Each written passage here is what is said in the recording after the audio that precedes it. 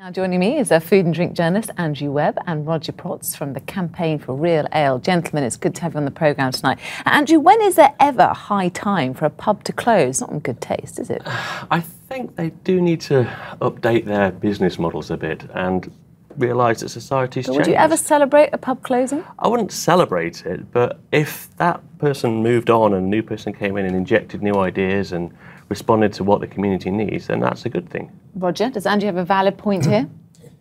Not really, um, but let's let's talk about the good pub guide rather than what Andrew has said. I mean, they're No, no, call- let- let- well, okay, but they're calling for four thousand right. pubs to close. They actually want them to close, which is quite an astonishing thing for a, a pub guide to say. Now, that is a disaster for communities up and down the country.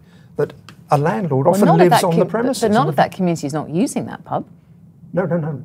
Who says? The good pub guide is talking about what they call bad pubs. Now, who defines a bad pub? They're not saying failing pubs, they're saying bad pubs. And what they mean is pubs that aren't food led, because they are a gastropub guide. Is that a bad pub in your opinion, Andrew? Well, I think a, a food-led pub is a pub that's responding to what the community needs, and pubs that open themselves up and maybe do coffee in the morning and move throughout the day. You know, other businesses are failing on the high street, but other businesses are thriving, and people are looking to sort of uh, the chain But restaurants. those, those so-called bad pubs still have a purpose. They're still serving the community, aren't they? Just because they're not serving trendy food and have a nice decor, does They that are, matter? and I'm not campaigning that all pubs should be gastropubs, and and and and that's what the debate seems to be framed as. But I think that uh, pubs that don't respond to change and don't develop, They do. I don't know of an industry that responds to change more than the pub industry. It's So why are these pubs going out of business then?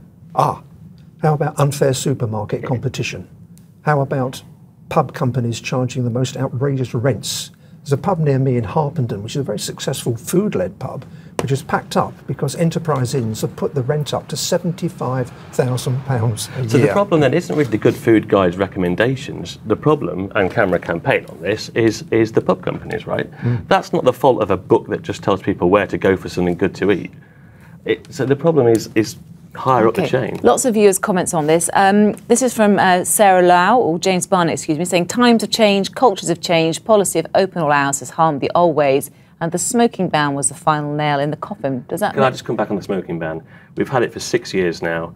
You don't see people not taking trains because there's not a smoking carriage. Uh, other other places, nightclubs aren't closing because of because of the smoking ban.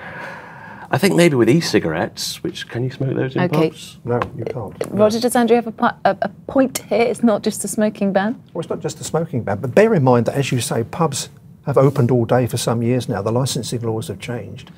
Pub companies and breweries are investing millions in pubs to bring them up to date. So it's not true that there's all these old fashioned pubs around. The pub trade is modernising at a very fast Okay. rate.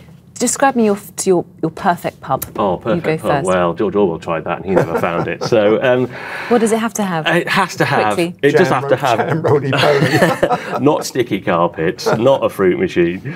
Um, I I think that it needs to have just good beer, good people, good customers. What would you say, good, Roger? good pint of beer. Okay, and that's it. There's a success. Should we go for a pint? Yeah, sounds great. We will now. Thank you very much for joining me tonight, gentlemen.